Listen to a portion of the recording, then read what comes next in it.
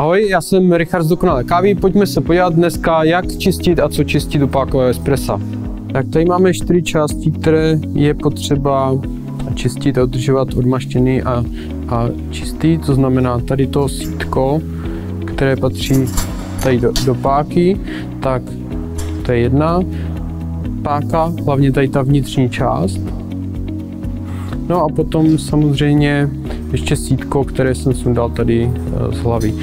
Všechny, všechny ty části já dám do lázně. Jedna, dva, tři a dám tam chemický přípravek právě, který je na odmaštění a rozpouštění ty kávové špíny.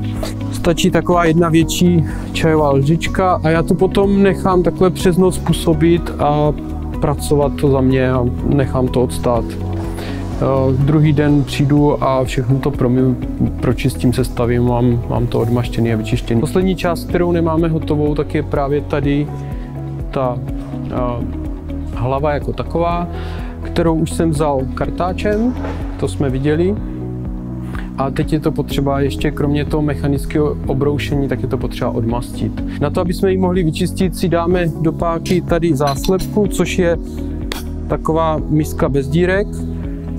To je první věc, co potřebujeme. A ještě k tomu potřebujeme už to čisté sítko, který máme vyčištěný. A zpátky těsnění, já jsem vzal nový, viděli jste, že to starý už mě prasklo. A nasadím to zpátky to těsnění na to sítko a to celé dám na hlavu. Teď si dám trochu té chemie, to je stejné, opravdu stačí troška. A postupuju stejně, jako kdyby připravoval kávu, akorát nám nic neodchá, neodtéká. A ta, mám puštěnou extrakci, Pracuje to tam pod tlakem a teplotou a odmašťuje mě tu hlavu a to sítko, které jsme tam zpátky nasadili. Takhle to vždycky na 10 vteřin pustím a zase vypnu. A takhle to dělám tak pětkrát až desetkrát, až tady ta chemie, kterou, která se mi tam rozpouští, přestane účinkovat. No a potom v podstatě to máme všechno vyčištěné, stačí se stavit a hodně dobře propláchnout. Já teda dělám to, že vždycky ještě jednu kávu projedu a tu nepiju, tu vylívám. Máme vše vyčištěnou a teď je potřeba to provádět pravidelně. V kavárně, v gastroprovozu, každý den, bez ohledu na počet udělaných káv. A co se týče doma, tak eh, zase záleží na to, na to kolik káv připravíte. Jako nejpozději bych to vzal eh, chemii po nějakých třeba 100 kávách, nejpozději. Takže jednou měsíčně, jednou za 14 dní, jednou za tři týdny to si musíte spočítat sami. Když to budete dělat častěji, určitě tím nic neskazíte. Závěrem bych rád dodal, že musíme se starat ještě o mlínek, kde uvnitř káva, která občas obsahuje masná zrna, tak pracuje v náš neprospěch. Na to je potřeba si dát tak, taky pozor.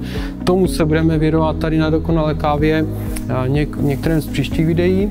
A poslední takový upozornění pro vás, pokud máte páku s dřevěným držadlem nebo pochromovanou tady tu část nebo z hliníku nebo vevnitř plastu je potřeba na to dát pozor při tom namáčení, protože ten hliník může zčernat, chrom vám sleze, takže dejte si na to pozor, je to typicky u některých levnějších kávarů, takhle bývají tady ty součásti, dejte si na to pozor. To je čištění dneska všechno, já se budu těšit u některého z dalších videí a mějte se hezky.